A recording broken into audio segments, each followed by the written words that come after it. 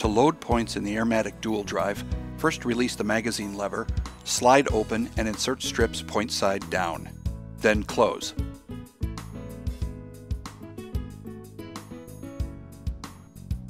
Then connect your airline to the fitting. Adjust your compressor's PSI to between 50 and 100 pounds maximum. The harder the wood being used, the higher the PSI needed, but do not exceed 100 pounds. To operate the Airmatic dual drive, hold upside down and placing the nose against the inside of the rabbet, pull the trigger once to drive a point. The Airmatic dual drive uses two different point types, flexible or rigid.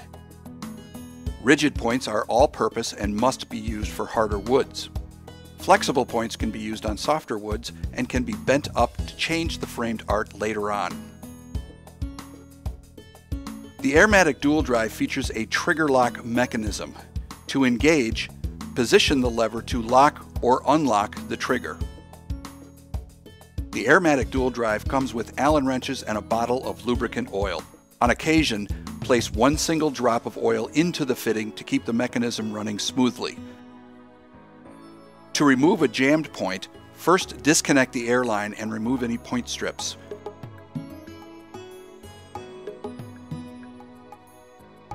Use the proper Allen wrench to loosen and remove the nose piece, clearing the jam.